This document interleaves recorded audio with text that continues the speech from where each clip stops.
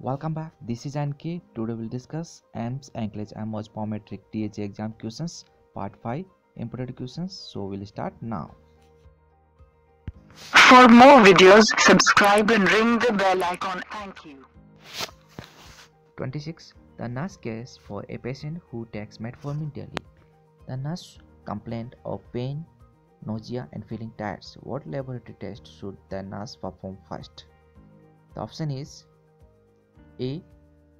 Complete blood count B. Liver function test C. Reactive protein D. Arterial blood gas So answer is D. Arterial blood gas The rationale is Metformin causes lactic acidosis by reducing pyruvate dehydrogenase activity and mitochondrial transport of reducing agent and thus enhance anaerobic metabolism. The quickest way to assess for lactic acidosis is an arterial blood gas. Acidosis is below pH 7.35. 27. The nurse evaluated the effectiveness of warfarin therapy in a patient. What serum test will be the most accurate in assessing? A. PTT INR C. Complete metabolic panel D. Platelet count. So answer is D. Platelet count. Rationale is INR is used to determine the clotting tendency of a patient blood. 28. Which of the following is considered as contraindication for the giving of metoprolol? A. Hypertension, increased urine output. C. Decreased respiratory rate. D. Bradycardia. So answer is D. Bradycardia. Rational. Metoprolol blocks the response of beta adrenergic stimulus. It decreases heart rate so if a patient has a heart rate of less than 60 beats per minute it is contraindicated.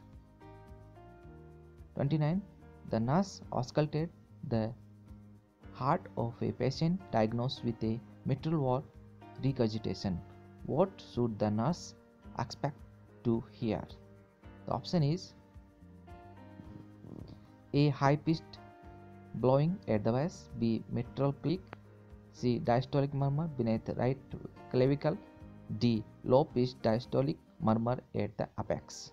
The answer is D.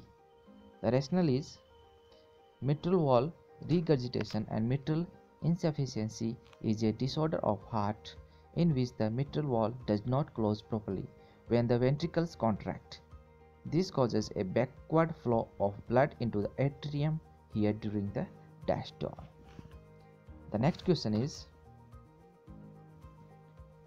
the most common cause of hospitalization of for patient older than 75 year old as is option A pneumonia, B hypertension, C heart failure, D cancer. Answer is C heart failure.